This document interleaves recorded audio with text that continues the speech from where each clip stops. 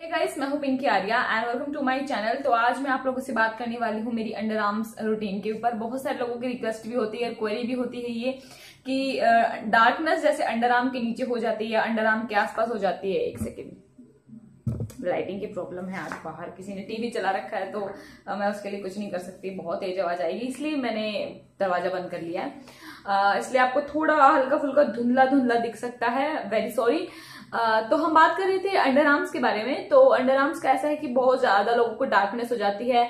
uh, मैंने देखा है बहुत सारे लोग प्रेफर करते हैं वैक्सिंग कराना अंडर आर्म्स की तरफ़ बट मेरा जो नज़रिया है ये मेरी अपनी राय है। अगर आप लोगों पर ये वर्क करे तो प्लीज़ मुझे कॉमेंट के थ्रू बताइएगा। मैं आप लोग के साथ अपनी जो सारी चीज़ें वो शेयर करने वाली हूँ। अंडर आर्म्स के, पा, के पास बाल होना सभी को हेयर होना एकदम लाजमी है। इसके ऊपर कोई शर्म नहीं होनी चाहिए किसी को। बहुत सारे लोग छुपाते हैं परेशान होते हैं डार्कनेस से परेशान होते हैं। तो वो सब क्यों होते हैं? अगर आप वैक्सिंग कराते हैं फ्रिक्वेंटली वैक्सिंग कराते हैं तो डेफिनेटली उसके ऊपर डार्कनेस हो जाती है क्योंकि हम वहाँ की स्किन को डैमेज कर देते हैं। और अंडर जब वैक्स कराते हैं तो क्या होता है लोकल जब पार्लर में जाते हैं तो पता भी नहीं चलता कौन सी वैक्स कराते हैं। ब्रिजीलियन विर्जीलियन ये तो यहाँ पे होता नहीं है बेसिकली नॉर्मल वैक्स ही कर देते हैं वो लोग जिससे इरिटेशन भी फील हो जाती है। कई बार जब इनग्रो हेयर आते हैं तो वहाँ पर इचनेस स्टार्ट हो जाती है। अगर हम बार बार उसको इच, मतलब खुजा पुजा लेते हैं तो उसकी वजह से भी डार्कनेस हो जाती है। रियली सॉरी मैं ऐसी ऐसी लैंग्वेज यूज़ कर रही हूँ बट आप लोगों से कनेक्ट करने के लिए ऐसी लैंग्वेज यूज़ करनी पड़ती है। क्योंकि थोड़ा बहुत ह्यूमर भी चाहिए ना। तो यही मैं बनना बताने वाली हूँ। मैं अपने अंडर आर्म स्किन के अंडर आर्म जो रूटीन है उसकी स्किन को कैसे प्रोटेक्ट करती हूँ मेरी अंडर आर्म बिल्कुल भी डार्क नहीं है। सबसे पहले तो जब भी आप स्क्रबिंग करें या आप लूफा में कोई भी चीज़ ले तो डेफिनेटली अपने अंडर आर्म्स के आसपास ज़रूर करें उसको। उससे क्या होगा, एक स्किन एक्सपोलिएट होती है, जो डेड स्किन सेल्स होती है, वो निकल जाती है।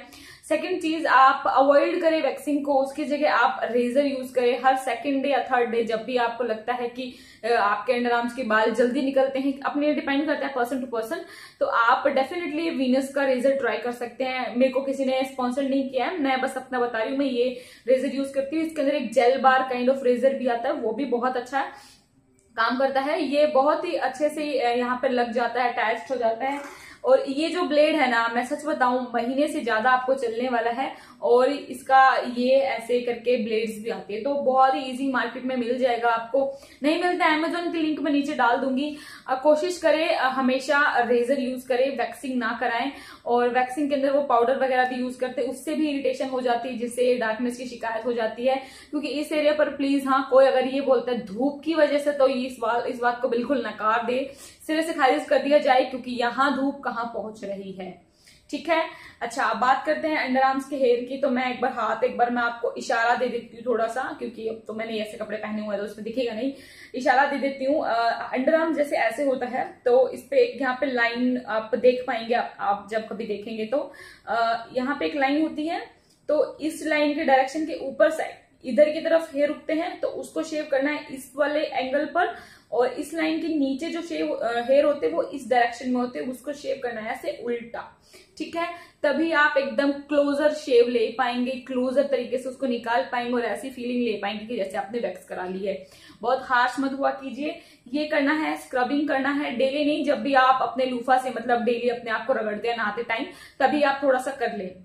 कोशिश करें कि बहुत ज़्यादा हार्ड डीओ डायरेक्टली ना छिड़कें अपने उस पर। हमेशा आ, बोले तो alcohol free kind of deo आप यूज़ करें। रोल ऑन भी आप यूज़ कर सकते हैं बट मैंने सुना है रोल ऑन स्किन के लिए बहुत अच्छा नहीं होता। बट क्या करें अगर हम प्रेजेंटेबल लगना चाहते हैं हमें स्मेल नहीं चाहिए ऑर्डर नहीं चाहिए तो ये चीज़ यूज़ करनी ही पड़ती है। मैं पर्सनली जो है निव्या का जो ये पर्ल ब्यूटी है ये यूज़ करती हूँ इसको हल्का शेक कीजिए और एक अच्छी सी लेयर अपने अंडर आर्म्स के अंदर डालिए बस यू गुड को। गो 48 आवर्स ये बोलता है बट 24 आवर्स ही कहीं नहीं जाता है बहुत भीनी भीनी इसकी स्मेल है ओवर पावरिंग नहीं है और ये डार्कनेस से भी बचाता है अंडर आर्म्स को, जो कि काफ़ी अच्छी बात है। ज़ीरो परसेंट एल्कोहल है, कोई भी एल्कोहल नहीं है बट ये गैस टीओ है। इसके अंदर मतलब पानी वाला स्प्रे नहीं है, जैसे फोक करके आता है फोक उस तरीके का नहीं है ये। इसके अंदर गैस है, गैस वाला डीओ है ये तो आपको ऐसा नहीं कि हज़ार स्प्रे मिलेगा, ऐसा कुछ नहीं है बट ये बहुत अच्छा है अंडर आर्म्स के लिए। आप रोल ऑन भी यूज़ कर सकते हैं, हफ़्ते में एक या दो बार स्क्रबिंग भी कर सकते हैं। बिल्कुल अगर आप स्क्रबिंग नहीं करना चाहते हैं, अगर आप अवॉइड करना चाहते हैं तो आप लूफा के अंदर आप कोई भी बॉडी लोशन यूज़ करते हैं, आप उसको हल्के हाथों से अंडर आर्म्स के आसपास कर सकते हैं, वो भी आपको उतना ही असर करेगा।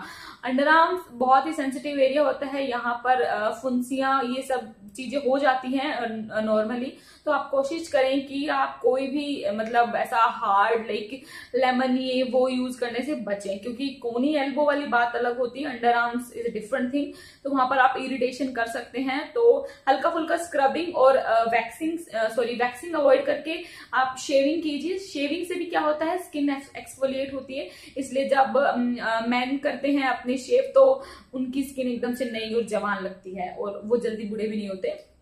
तो वो यही सब राज होता है।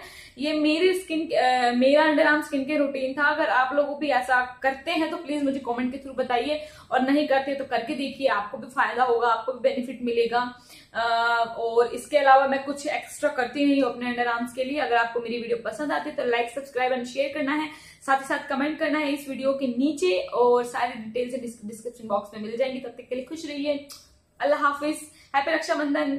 हैप्पी बकर ईद सबको। तब तक के लिए खुश रहिए। Bye bye and take care